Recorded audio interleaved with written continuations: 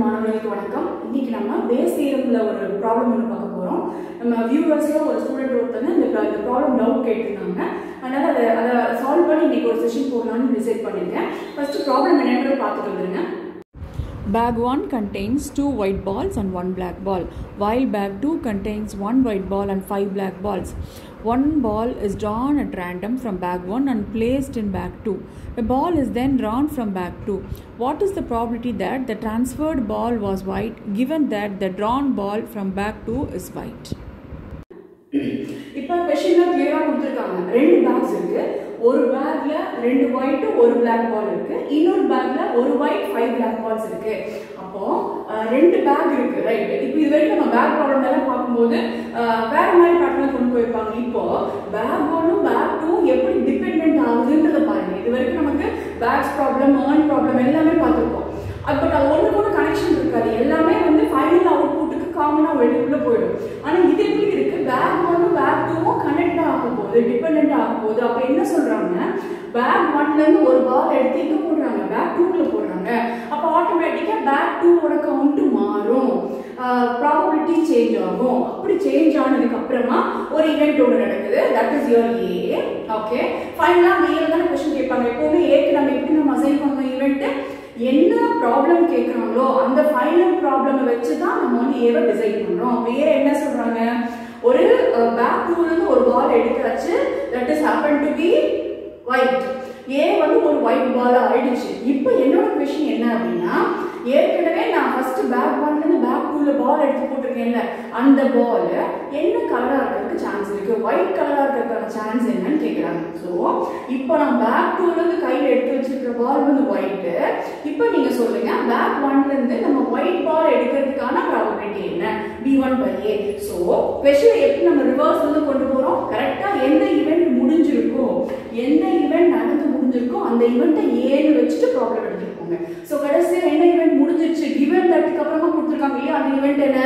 Getting a white ball from bag two so bag டூலேருந்து ஒரு white ball எடுத்திருக்காங்க. That is your A event A okay அந்த ஈவெண்ட் ஒரு பக்கம் இருக்கணும். ரைட் இப்போ நீங்க அப்படியே P one P two P த்ரீக்கு உங்களுடைய மியூச்சுவலி எக்ஸ்க்ளூசிவ் ஈவெண்ட்ஸ் இருக்கு இல்லையா? அந்த ஈவெண்ட்ஸ்குள்ள போகலாம் அப்படி பார்த்தா உங்களுடைய இந்த பேக் டூவோட பாலுடைய பேட்டர்னை பாலுடைய கவுண்டை அஃபெக்ட் பண்ற மாதிரி இருக்கிற விஷயங்கள் என்ன?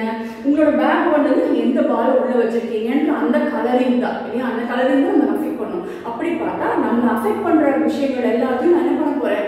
ஒவ்வொரு P one P two P த்ரீயும் அசைன் பண்ண போறேன். அப்ப நான் என்ன பண்றேன்? பேக் ஒன்னுக்கு போறேன். அங்க எத்தனை கலர் பால் இருக்கு? ரெண்டே ரெண்டு கலர் தான். ஒயிட் ஒன்று பிளாக் ஒன்று ஸோ பேக் ஒன்ல இருந்து ஒயிட் எடுத்துட்டு போனா இங்க என்னவா மாறும்? அதே பேக் டூல இருந்து பிளாக் பேக் ஒன்ல இருந்து பிளாக் பால் எடுத்துட்டு போனா இந்த செகண்ட் கவுண்ட் எப்படி எல்லாம் மாறும்? ரெண்டு பாசிபிலிட்டிஸையும் அனலைஸ் பண்ண போறோம். இப்போ பி ஒன் பி டூவை டிஃபைன் பண்ண போறேன். என்னோட பி ஒன் என்ன? White ball from bag one bag ஒன்ல இருந்து நான் எடுத்து உள்ள போட்டிருக்கேன் என்ன பால் டிசைட் பண்ணிருக்கேன்? ஒயிட் பால் டிசைட் பண்ணிட்டேன். பி டூ சப்போஸ் நான் எடுத்தது பிளாக் பாலா இருந்தா என்ன ஆகும்? So P one P two assign பண்ணிட்டோம். First one white ball second one black ball அவ்வளவுதான். வேற ஏதாவது பால்ஸ் கலரிங் இருந்தால் நீங்க பி த்ரீ பி ஃபோர் வச்சுக்கலாம் இப்போ நமக்கு ரெண்டே ரெண்டு ஈவெண்ட் தான் பாசிபிலிட்டி இருக்கு. இந்த ரெண்டும் நடந்துருச்சுன்னா இந்த ரெண்டும் நடந்துருச்சுன்னா அதுக்கப்புறம் பேக் ஒன்னோட கவுண்ட் மாறும்ல. அதை நம்ம எப்படி டிஃபைன் பண்ண போறோம்? பி ஒன் இருந்தா ஏ எப்படி நடக்கும்? பி டூ இருந்தா ஏ எப்படி நடக்கும்? அதுக்கு முன்னாடி எப்போ நீங்க P one P two define பண்ணீங்களோ அப்பயே இமீடியட்டா என்ன பண்ணி ஆகணும்? கரஸ்பாண்டிங் ப்ராபபிலிட்டிஸ் டிஃபைன் பண்ணி ஆகும் இப்போ P of P one P two calculate பண்ண போறீங்க. Now forget about bag two only concentrate your P one D I mean bag one bag ஒன்னு கான்சென்ட்ரேட் பண்றீங்கன்னா என்ன அர்த்தம்? வெறும் two white one black ball அதில் உங்களோட பி ஒன் என்ன? அதுலேருந்து ஒரு ஒயிட் பால் எடுக்கிறதுக்கான ப்ராபபிலிட்டி என்ன? ஒரு பேக் இருக்குது அதில் பால்ஸ் இருக்குது அதில் ஒரு ஒயிட் பால் எடுக்கிறதுக்கான ப்ராபபிலிட்டி என்ன? டோட்டலாக மூணு பால் இருக்குது ஸோ மூணு பாலில் உங்களுக்கு ஒயிட்டுக்கான ப்ராபபிலிட்டி ரெண்டு ஆப்ஷன் இருக்குது so two two by three very simple problem next P two P டூன்னு என்ன? பிளாக் பால் அப்போ அதே பேக்ல இருந்து பிளாக் பால் எடுக்கிறதுக்கான ப்ராபபிலிட்டி என்ன ஒரே ஒரு பிளாக் பால் தான் இருக்கு. ஸோ ஒன் டிவைட் பை மொத்தமாக மூணு பால் இருக்கு. பை த்ரீ அப்போ P one P two probability of P one probability of P two கண்டுபிடிச்சிட்டீங்க. முடிஞ்சது. நெக்ஸ்ட் இப்போ அடுத்தது உங்களோட கண்டிஷன் ப்ராபபிலிட்டிஸ் படிங்க கண்டிஷன் ப்ராபபிலிட்டி எக்ஸாக்ட் மீனிங்கோட அப்ரோச் பண்ணணும். போறோம் அவ்வளவுதான். பி ஒன் நடந்ததுக்கு அப்புறமா உங்களோட ஏவான ஏவோட ப்ராபபிலிட்டி என்ன? பி ஒன்னா என்ன? பி ஒன்னா என்ன நடக்குது? ஒயிட் பால் இங்க இருந்து ஒரு ஒயிட் பால் எடுத்து உள்ள போடுறீங்க. அப்போ இப்போ நீங்க ஃபோக்கஸ் பண்ண வேண்டியது என்னது? அவங்களோட பேக் டூ மட்டும்தான். ஸோ ஒரு ஒயிட் பால் உள்ள போட்டீங்க. அப்போ உங்களோட ஒயிட் கவுண்ட் மட்டும் மாறுது. வேற ஏதாவது அஃபெக்ட் ஆயிருக்கா? இல்லை. உங்களோட ஒயிட் கவுண்ட் மட்டும் மாறுது. அப்போ அதனால ஆப்வியஸாக டோட்டல் கவுண்ட்டும் சேஞ்ச் ஆகும். ரைட்டு இப்போ நீங்க சொல்றீங்க ஏ பை பி ஒன் என்ன ஒரு ஒயிட் பால் எடுத்து உள்ள போட்டேன் அதோட இந்த வேலை முடிஞ்சிச்சு. அவ்வளோதான் பி ஒன்னோட மீனிங் எடுத்துக்கிட்டோம். ரைட் பி ஒன் முடிஞ்சதுக்கு அப்புறம் இப்போ இது ஒரு நியூ பேக் இந்த பேக்ல உங்களோட ஈவெண்ட் என்ன? ஏ ஏ என்ன? ஒயிட் பால் ஒயிட் பால் எடுத்துருக்கான ப்ராபபிலிட்டி அப்போ டூ ஒயிட் ஃபைவ் பிளாக் இருக்கு. அதுல நான் என்ன பால் எடுத்து போடுறேன்? ஒரு ஒயிட் பால் எடுத்து வைக்கிறேன். அப்போ ஆப்வியஸா என்னவா மாறுது? டூ மாறுது. இப்போ ப்ராபபிலிட்டி என்ன? ரெண்டு ஒயிட் பால் இருக்கு. அது எது வந்தாலும் எனக்கு okay total ball count seven இதுதான் P of P Y P ஒன்னோட ஏ பை பி ஒன்னோட வேல்யூ நெக்ஸ்ட் இப்போ அடுத்தது நான் ஒரிஜினல் கவுண்ட்டுக்கு போயிட்டேன் ரைட் இப்போ நான் என்ன எடுத்து உள்ள போட போறேன்? ஒரு பிளாக் பால் எடுத்து உள்ள போட போறேன். ஒரு பிளாக் பால் உள்ள வந்துச்சுன்னா கரெக்டா ஆப்வியஸா என்ன ஆகும்? பிளாக் பாலோட கவுண்ட் அஃபெக்ட் ஆகும் சேஞ்ச் ஆகும். டோட்டல் நம்பர் ஆஃப் பால்ஸ் என்ன ஆயிடுச்சு? சிக்ஸ் வந்து இப்போ செவன் ஆயிடுச்சு ஓகே ஸோ மொத்தமா ஏழு பால் இருக்கு. அதுல எனக்கு என்ன பால் மட்டும் தான் வேணும்? பிளாக் பால் தான் வேணும். So six by seven so இதுதான் நம்மளோட uh, ப்ராபபிலிட்டிஸ் இப்போ எப்படி கனெக்டட் ஆயிருக்குன்றதை பார்த்தோம். எப்படி நம்ம ஏ ஐடென்டிஃபை பண்ணிட்டு அதுக்கப்புறம் பி ஒன் பி டூக்கு போறோம்ன்றதையும் பார்த்துட்டோம். இதுதான் நம்மளுடைய டோட்டல் பிக்சர் என்னெல்லாம் வேணுமோ எல்லா ரெக்குவயர்மெண்ட் போட்டாச்சு. இப்போ அல்டிமேட்டா அவங்க என்ன கேட்குறாங்க கையில நான் வந்து செகண்ட் பேக்ல இருந்து ஒரு ஒயிட் பால் எடுத்துட்டேன். எடுத்து முடிச்சிட்டேன். இப்போ நீங்க சொல்லுங்க ஏ வந்து given event so completed event அப்போ இப்போ நான் வந்து ப்ராபபிலிட்டி ஆஃப் நியூமரேட்டர் இவெண்ட் என்ன? நீங்க உள்ள எடுத்து போட்டது ஒயிட் பாலா இருக்கிறதுக்கான பி ஒன்னா இருக்கிறதுக்கான ப்ராபபிலிட்டி என்னன்னு சொல்லுங்க.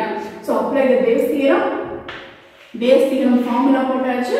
கையில் எல்லா வேல்யூஸ் இருக்கு. ஒவ்வொரு வேல்யூவும் உள்ள போட்டு சப்ஸ்டியூட் பண்ணீங்க அப்படின்னா உங்களுக்கு இமீடியட்டா ஆன்சர் கிடைக்கும் ஆன்சர் என்னவா இருக்கும் P of P one P of P one is 2 by 3 into a by b1. a by b1 is 2 by 7 divided by 2 by b into 2 by 7 plus 1 by 3 into 6 by 7.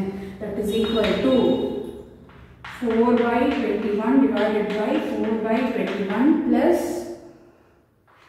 6 by 21 that is equal to 4 by 21 divided by 10 by 21 21 21 8 cancels divided by 4 by 10 that is equal to 0.4 so answer is 0.4 இப்போ இந்த problem உங்களுக்கு கிளியராக புரிஞ்சிருக்கும்னு நினைக்கிறேன்.